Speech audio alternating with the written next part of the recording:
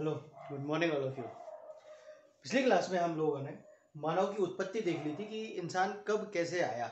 ये हमने देखा था कि दो मिलियन ईयर्स एगो जब इंसान पृथ्वी पर आया हुआ था तो उसके बारे में मैंने एक पिछली क्लास में आपको बहुत अच्छे से बताया हुआ था कि आपको उस इरा में जाके रहना है है ना? जब बिल्कुल आपको मैं कहानी की तरह हिस्ट्री समझा रहा हूँ तो आपको भी मेरे साथ साथ चलना है। आपको अपनी एक जो स्मार्ट स्क्रीन होती है, जहाँ पर आप सपने देखते हैं, वो स्क्रीन को आपको हमेशा ऑन रखना है। जब जब भी क्लास पढ़ाए जब जब, और उस स्क्रीन को ऑन करने से ये होगा कि मैं जो भी आपको जैसे जैसे पढ़ाऊँगा, आप उसको ध्यान से सुनेंगे और अपने आप को उस इरा में लेके जाएँगे। ठीक है? जैसे मैंने आपको बताया था, उसका पूरा का पूरा यहाँ पे एक माइंड मैप बना दिया हुआ है। मतलब जो पूरी की पूरी एक क्लास है, उस पूरी क्लास का एक निचोड़ दे रखा। सबसे पहले ये दो मिलियन ईयर एगो इंसान पृथ्वी पर दिखाई दिया था। ठीक पहली बात। जब वो पृथ्वी पर आया था तो उसको दो सबसे बड़ी समस्याओं या चुनौतियों का सामना करना पड़ा था। पहली थी भूख और दूसरी उसको लगती थी ठंड। ठीक है? क्योंकि उस समय क्या होता था, बहुत बर्फ़ बर्फ़ गिरती थी, है ना? अब भूख तो सभी को लगती है और जिस हिसाब से यहाँ पे इंसान की जो प्रवृत्ति थी या जो इंसान आया हुआ था तो उसको भूख अपने साथ में ही लेके आता है। है ना? जैसे बच्चे होते हैं तो उनको भी सबको भूख लगती है। ऐसे इंसान को भी भूख तगड़ी लगती थी। और ठंड लगती थी। ठंड इसलिए लगती थी क्योंकि उस समय ना बहुत बर्फ़ बर्फ़ गिरती थी। मतलब बर्फ़ ही बर्फ़, पूरा ठंडा इलाका हुआ करता था और बर्फ़ बहुत ज़्यादा थी। है ना? तो इसको ठंड भी लगती थी। इसको दो ये बहुत बड़ी समस्याएँ थी। अब भाई जब समस्याएँ होंगी तो एक सीधा सा फंडा है, इंसान उसको सुलझाने की कोशिश करेगा, है ना? समस्या होगी तो उसका कोई ना कोई सोल्यूशन निकालेगा ना? तो बस उसने क्या किया?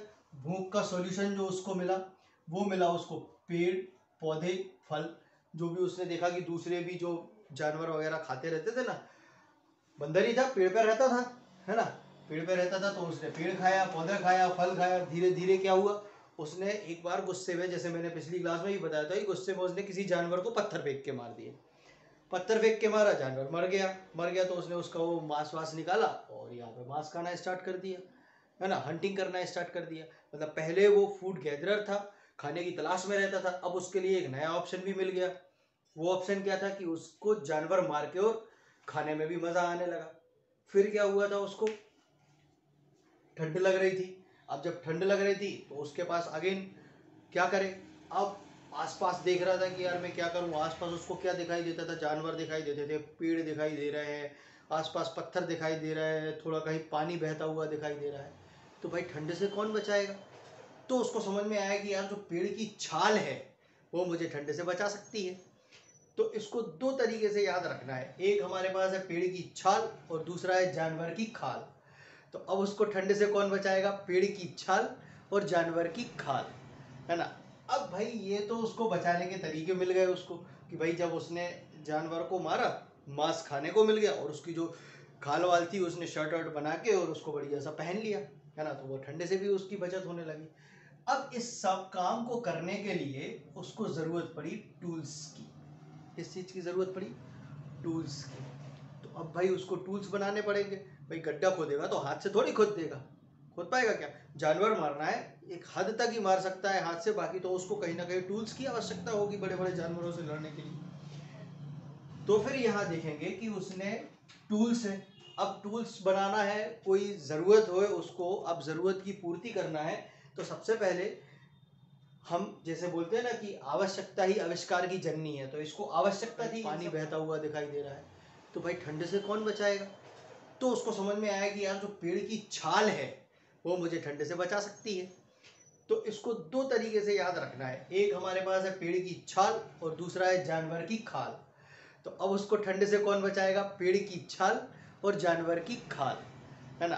अब भाई ये तो उसको बचाने के तरीके मिल गए उसको, कि भाई जब उसने जानवर को मारा, मांस खाने को मिल गया और उसकी जो खाल वाल थी, उसने शर्ट वर्ट बना के और उसको बढ़िया सा पहन लिया, है ना? तो वो ठंडे से भी उसकी बचत होने लगी। अब इस सब काम को करने के लिए उसको ज़रूरत पड़ी टूल्स की। किस चीज़ की ज़रूरत पड़ी? टूल्स की। तो अब भाई उसको टूल्स बनाने पड़ेंगे। भाई गड्ढा खोदेगा तो हाथ से थोड़ी खोद देगा। खोद पाएगा क्या? जानवर मारना है, एक हद तक ही मार सकता है हाथ से, बाकी तो उसको कहीं ना कहीं टूल्स की आवश्यकता होगी बड़े बड़े जानवरों से लड़ने के लिए। तो फिर यहाँ देखेंगे कि उसने टूल्स है। अब टूल्स बनाना है, कोई ज़रूरत हो उसको, अब ज़रूरत की पूर्ति करना है तो सबसे पहले हम जैसे बोलते हैं ना कि आवश्यकता ही आविष्कार की जननी है तो इसको आवश्यकता थी इन सब कामों की। तो इसको कुछ ना कुछ आविष्कार करना था, आविष्कार इसने टूल्स का किया, क्योंकि तो जैसे जैसे समय बीत रहा था, आदमी की बुद्धिमत्ता भी आगे बढ़ रही थी, बड़ी हो रही थी, उसके अंदर ज्ञान आ रहा था। उसने देखा कि उसके आसपास उसको पहली चीज़ जो प्राप्त हो रही है, वो हो रही है लकड़ी। भाई पेड़ है, पूरे में लकड़ी लकड़ी दिखाई दे रही है कि हाँ यार, लकड़ी की टहनी ली, उसको अच्छा नुकीला किया, दिया जानवर में मिला के टक्के से। है ना? तो पहला उसको टूल्स के रूप में क्या दिखाई दिया? लकड़ी दिखाई दी। फिर उसको बहुल मात्रा में पत्थर दिखाई दिए। और पत्थर के साथ सबसे अच्छी चीज़ ये थी कि ये सबसे ज़्यादा उपयोगी था। उपयोगी उसके क्यों था? क्योंकि हर जगह वो आसानी से प्राप्त हो जाता था। वो किसी भी जगह जाता था, वहाँ पे उसको पत्थर तो मिलता ही मिलता था। बहुत आसानी से प्राप्त होता था। और पत्थर के साथ उसको वैरायटी मिल जाती थी। सबसे बड़ी चीज़ यहाँ पे उसको थी कि उसको बहुत सारी वैरायटी मिल जाती थी। बड़ा पत्थर है, छोटा पत्थर है, नुकीला पत्थर है पेबल शेप में पत्थर है हैंड ग्रिप शेप में पत्थर है हैंड एक्स के रूप में पत्थर का उपयोग किया है उसने।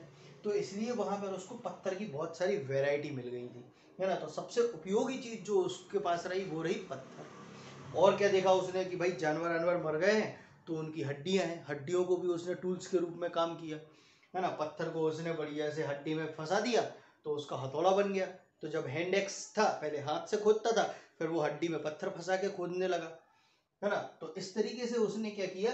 टूल्स का आविष्कार किया। अब टूल्स क्यों क्यों चाहिए थे उसको? सबसे पहले जो मीट है, या जानवर को मारने के लिए, अपना पेट भरने के लिए, इस भूख को शांत करने के लिए उसको मीट चाहिए। ठीक है? मीट के साथ साथ ही यहाँ पे उसको क्या मिल रही थी? खाल मिल रही थी। जब आदमी मारेगा तो मीट को खा लेगा, और उसकी जो खाल थी, उसको वो पहन लेगा तो वो खाल उसको ठंड से भी बचाएगी पेड़ से उसको छाल मिल रही थी तो पेड़ को छीलने के लिए क्या चाहिए? उसको कोई ना कोई टूल चाहिए ना कि भाई जब तो वो पेड़ को छीलेगा। जब पेड़ को छीला उसने और फिर उसको बढ़िया सी छाल को उसने अपने कपड़े के रूप में इस्तेमाल किया। तो यहाँ पे जानवर की खाल और पेड़ की छाल उसने अपने पहनने के लिए और ठंडे से बचने के लिए उसने इस्तेमाल किया। फिर उसको खुदाई उदाई करने की भी कभी ज़रूरत पड़ी कि बीच बीच गाड़ने के लिए उसको खुदाई करना है डिगिंग करना है तो डिगिंग के लिए अगेन उसके लिए पत्थर मिल गया, हड्डी मिल गई। अब देखो, आदमी ऐसा आया था, वो धीरे धीरे धीरे धीरे करके और इस तरीके से वो डेवलप हो गया। दिखाई दे रहा है ना कि ये हमने देखा था सबसे पहले पैलियोलिथिक एज में इस तरीके से आया था, भूख से, ठंडे से, फिर धीरे धीरे उसके पास दिमाग आया, दिमाग आता चला गया तो सबसे पहले वो फ़ूड गैदरर था। फ़ूड गैदर के बाद उसने हंटिंग करी हंटिंग करी तो उसको भाई कपड़े वपड़े देखो ये पहनने को मिल गए। अभी ये ऐसे ही है, फिर उसने वो बड़ी ऐसे कपड़े वपड़े पहन लिए। हंटिंग करी, फिर उसने डोमेस्टिफिकेशन ऑफ़ एनिमल्स कर लिया तो देखो ये हाथ में हथौड़ा मिल गया उसको। मतलब उसने अपने यहाँ पे टूल बना लिया और टूल बना के उसने यहाँ पे जानवरों को मारा तो उसकी खाल भी मिल गई और खाल के साथ उसकी भूख भी मिट गई। ठंडे से भी बच गया, भूख भी बच गया। फिर उसने धीरे धीरे एग्रीकल्चर स्टार्ट करना स्टार्ट किया। एग्रीकल्चर करने से क्या हुआ? उसको एक जगह रहना पड़ा। रहने के लिए बाध्य नहीं था, पर उसने समझा कि यार अब मुझे एग्रीकल्चर करना है, यहाँ मैंने बीज बोया है, कल को यहाँ फ़सल आएगी वो मैं खाऊँगा, बढ़िया अपना पेट भरूँगा, है ना? तो इसलिए वो एक जगह रुक गया, वहीं उसने बढ़िया गाय वाय पाल ली, कुत्ते उत्ते पाल लिए, दूध मिलने लगा, बढ़िया दूध पी रहे हैं, और जो अन्न मिल रहा है उससे बढ़िया पेट भर के आराम की ज़िंदगी जी रहे हैं। आराम की ज़िंदगी हो गई, जब उनको सेटलमेंट हो गया कि भाई अब हमें आराम से जीना है, यहाँ खाना उग रहा है, खाना है, सोना है तो फिर उसका दिमाग चलने लगा आर्ट एंड कल्चर में कि यार मैं चित्रकारी कर दूँ, है ना? तो जब चित्रकारी कर दूँ तो उसके सामने जो चीज़ होती थी, जैसे एनिमल्स को देखता था, हंटिंग देखता था, जो भी उसके सामने घटित होता था, वो उस चीज़ को चित्रों के आकार में पत्थर पर उकेर देता था। ठीक है? उस समय भी उनके पास इतना दिमाग था कि वो उस चीज़ को अपनी लैंग्वेज में लिख देते थे। पर आज हमारे पास इतना दिमाग नहीं है कि हम उनकी लिखी हुई चीज़ों को पढ़ पाए, समझ पाए। बस हम ये देख सकते हैं, चित्र देख लेते हैं कि हाँ उसने मछली का चित्र बनाया है, कभी उसने शेर का चित्र बनाया है, कभी भैंस का बनाया है, कभी हिरण का बनाया है। तो इस तरीके से हम उनके चित्रों को समझ पाते हैं कि हाँ ये उस समय उस समय, उस कल्चर में ये लोग रहे होंगे, या ये जानवर रहे होंगे, या ये चीज़ रही होंगी। ठीक है? फिर जब फोकस किया उसने आर्ट एंड कल्चर पे तो इससे हमारे लिए आर्ट एंड कल्चर पर जब उसने फोकस किया तो फिर हमको मालूम पड़ा कि एक्चुअल में वहाँ के जीवन क्या रहता था, कैसे रहता था। ठीक है? और जब उसने एक सेडेंट्री लिविंग यहाँ पर स्टार्ट कर दी तो धीरे धीरे उसने सिविलाइजेशन का रूप ले लिया। सिविलाइजेशन मतलब होता है सभ्यता। सभ्यता कैसी होती है? या सभ्यता का जो अर्थ होता है, वो क्या होता है? जब बहुत सारे लोग, बहुत सारे लोग मिलके और कोई ची, एक चीज़ को मानने लगते हैं किसी एक चीज़ को मानने लगते हैं तब वो जाके हमारी कहलाती है सभ्यता। ठीक है? जैसे कि आप अगर किसी भी एक कम्युनिटी को उठा लें जैन को उठा लें ब्राह्मण्स को उठा लें तो इन लोगों ने क्या किया कि कोई एक इन्होंने कॉन्सेप्ट पकड़ा और उस कॉन्सेप्ट को ये मानने लगे। तो ये हमारी कहलाती है सभ्यता। जब पूरे के पूरे बहुत सारा जनमानस किसी एक चीज़ को ही मानने लगता है तो हम उसको कहते हैं सभ्यता। ठीक है? तो अब हम नेक्स्ट लेक्चर में हम पढ़ेंगे सभ्यता के बारे में सिविलाइजेशन के बारे में। ठीक है कि हमारी सिविलाइजेशन कैसे डेवलप हुई? सबसे पहली जो इंडियन सिविलाइजेशन थी, या जो भारत की सिविलाइजेशन थी, उसको हमने नाम दिया है इंडस वैली सिविलाइजेशन ठीक है? उसको हम अभी नेक्स्ट उसमें डिस्कस करेंगे। ठीक है? तो यहाँ तक का कॉन्सेप्ट आपको समझ में आ गया होगा। ठीक है एजेस फिर से एक बार फिर से अपन रिपीट कर लेते हैं। सबसे पहली एज थी पैलियोलिथिक एज दूसरी थी मिजोलिथिक एज तीसरी थी नियोलिथिक एज सबसे पहली एज जो थी हमारे पास, वो थी पैलियोलिथिक एज ठीक है? फिर सेकंड थी मिजोलिथिक एज थर्ड थी हमारी नियोलिथिक एज और फोर्थ थी चारकोलिथिक एज ठीक है? अच्छा एक बात और। इनका जो समय काल है या समय अंतराल है, जिसको हम कहेंगे पीरियड ऑफ़ टाइम तो ये हमेशा ओवरलैप करता है। समझ में आ रही बात? जैसे मान लो कि यहाँ पे हम कहेंगे कि जो इंडस वैली सिविलाइजेशन है, उसका कल्चर 2500 बीसी से स्टार्ट हुआ था। पर कुछ बुक्स में कहते हैं कि 2800 बीसी से उसका कल्चर स्टार्ट हुआ था। तो अब ये 2500 और 2800 300 सालों का ये गैप कैसे आया? तो ये इस तरीके से आता है कि जब कोई भी सिविलाइजेशन है, वो चल रही है, अब वक्त बद, एक, मैं पहले इस कॉन्सेप्ट को बताने के पहले एक छोटा सा एग्जांपल देता हूँ। सपोज़ करो, आप फैटी हैं, आप बहुत एक्सरसाइज कर रहे हैं जिम जा रहे हैं, घूमने जा रहे हैं, दौड़ लगा रहे हैं साइकिलिंग कर रहे हैं कि मैं पतला हो जाऊँ, ठीक है? कोशिश कर रहे हैं ना आप पतले होने की। तो क्या आप एक पीरियड पे ऐसा बोल सकते हो कि आज अब हम टाइम लाइन देख लेते हैं कि किस किस टाइम लाइन में या किस किस समय अंतराल में क्या क्या हुआ है। है ना? क्योंकि अभी तक हमने समय देख लिया कि ओवरलैप होता है समय काल ओवरलैप होता है, पर किस काल में क्या हुआ है वो हम देख लेते हैं। सबसे पहले जो हमारी पैलोलिथिक एज है, या जिसको हम कहते हैं पुरा पाषाण काल। पुरा पाषाण काल कब से स्टार्ट होता है? पाँच लाख बीसी से। पाँच लाख बीसी से लेकर दस हज़ार बीसी तक का समय काल चलता है। ठीक है? एक और बात अभी बीसी और एडी में मैं अंतर बताता हूँ आपको। बीसी और एडी का अंतर क्या होता है? बीसी को बोलते हैं बिफोर क्राइस्ट और एडी को बोलते हैं एनो डोमिनी पर अब इसकी जगह बिफोर कॉमन एरा और आफ्टर कॉमन एरा चलने लगा है। ठीक है? बिफोर कॉमन एरा और आफ्टर कॉमन एरा ठीक है? उसकी एक लंबी कहानी है, अपन उसको बाद में डिस्कस करेंगे। अभी आप ये समझ लें कि बिफोर क्राइस्ट और एडी एनोडोमिनी इसका मतलब यह है कि जो जीजस हुए थे, उसके पहले की कहानी और उसके बाद की कहानी। ठीक है? तो पाँच लाख बीसी मतलब बिफोर क्राइस्ट हमारी पैलोलिथिक एज स्टार्ट हो गई थी, जो कि हमारी दस हज़ार बीसी तक चली। इसकी जो इम्पोर्टेंट साइट्स है, वो इम्पोर्टेंट साइट्स हमको देखने को मिली हैं। वो मिली है हमारी भीम बेटका जो कि मध्य प्रदेश में है। यहीं पर हमको आदमगढ़ भी एक जगह है वहाँ पे क्या हुआ है कि चट्टानों पर, जो हमारे ये भाई साहब जो उस समय हुए थे ना, हमने बताया था अभी पिछली थोड़ी देर पहले ही कि वो जब बिल्कुल हर चीज़ से तृप्त हो गए थे तो आर्ट एंड कल्चर में उनका फोकस बड़ा था। तो उन्होंने क्या हुआ है कि यहाँ भीम बेटका साइट्स में उन्होंने चित्रकारी करी है विथ कलर्स कि उस समय उनका दिमाग इतना डेवलप था कि उन्होंने रंग भी उसमें भरे हुए हैं। और रंग इस तरीके से भरे हुए हैं कि तब से आज तक भी वो रंग आपको वैसे ही के वैसे मिलेंगे, जबकि उनने इतना बारिश और सब कुछ झेला हुआ है। धूल, मिट्टी, आंधी, बारिश, ठंड, गर्मी, बरसात, सब कुछ झेलने के बाद भी वो कलर्स अभी मिटे नहीं है। थोड़े बहुत फेड पड़े हैं थोड़ा बहुत अंतर आया है, बाकी पूरा एज इट इज़ है। तो कभी जब मौका पड़े तो जाइए, देखिए अपने पूर्वजों की लिखाई की उन्होंने किस तरीके से लिखा हुआ है। फिर पल्लवम चेन्नई में है, हथनोरा, नर्मदा वैली, ये इसकी इंपॉर्टेंट साइट्स है। ये डायरेक्ट क्वेश्चन पूछा जाता है इंपॉर्टेंट साइट से कि आप ये बताएँ कि ये साइट कहाँ पर पाई गई है, ये साइट कहाँ पर मिलती है। तो आपको बताना है वहाँ पर कि ये साइट्स पैलोलिथिक एज से रिलेटेड हैं। कौन कौन सी? भीम का पल्लवम और हथनोरा। इसको इस तरीके से याद कर सकते हैं कि बैठ के, भीम ने बैठ के आराम से चित्रकारी करी। किसके बारे में? पल्लवम के बारे में उसने कुछ कुछ चित्र बनाए कि उसने जो देखा वो उसने चित्र बनाया। काय से बनाया? हाथ से और नोरा मतलब पत्थर से। हाथ और नोरा, हथ नोरा। ठीक है, या हथौड़ा। उससे उसने पूरी की पूरी चित्रकारी करी। तो ये उसकी इंपॉर्टेंट साइट्स है जो पैलोलिथिक एज से संबंधित हैं। फिर हम देखते हैं मीज पैलोलिथिक एज का भी जो पीरियड है, वो बहुत बड़ा पीरियड है। अब आप सोचो, पाँच लाख से दस हज़ार साल तक का। तो उसको भी हमने आसान थोड़ा सा पढ़ने के लिए आसान बना लिया है। लोअर पैलोलिथिक एज पाँच लाख से पचास हज़ार बीसी तक का पीरियड, फिर मिडिल पैलोलिथिक एज पचास हज़ार से चालीस हज़ार बीसी तक का पीरियड, और अपर पैलोलिथिक एज चालीस हज़ार से दस हज़ार बीसी का पीरियड।